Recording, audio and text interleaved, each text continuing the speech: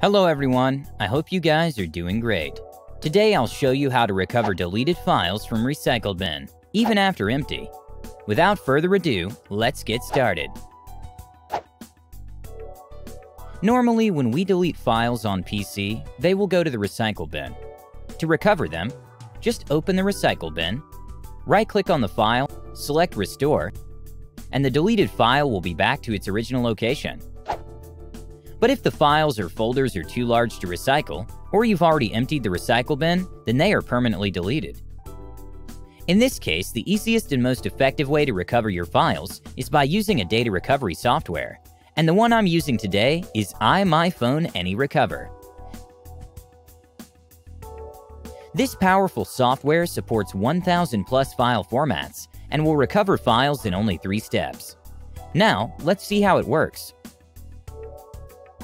After launching the software, you'll see an intuitive interface that lists all the available locations to recover data from.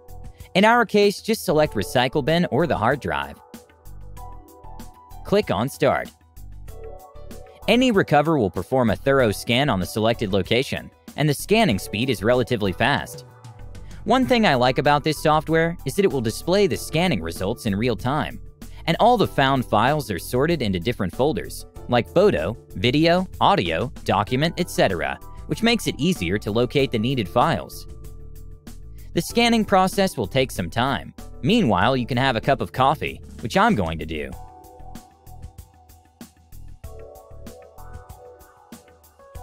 Okay, it says scan completed.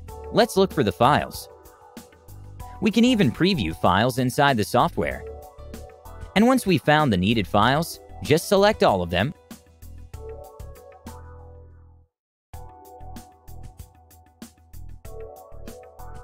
and click on Recover.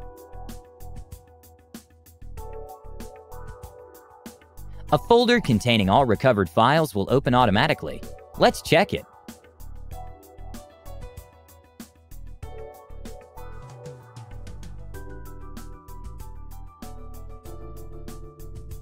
Yes, the photo is recovered, still in high resolution.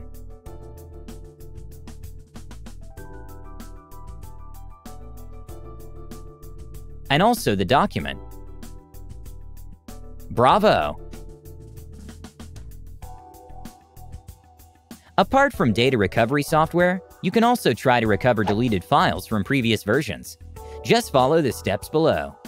First, find the folder where you once stored the deleted files. Right-click on it and select Restore Previous Versions. One drawback of this method is you have to previously enable the previous versions feature. If you haven't done so like me, then this method won't work, and data recovery software is our best help. However, if you've turned on the backup feature, you've got another way. That is to recover deleted files from file history. Go to the folder where you have the deleted files, then click Home. History. And hopefully you'll find the lost files here. Okay, that's all about recovering files from emptied recycle bin. If you've created a backup, just recover the files from backup. But if you haven't got any, then use iMyFone AnyRecover to restore all your lost data as soon as possible. If the video is helpful to you, don't forget to leave a like and subscribe to our channel. See you next time!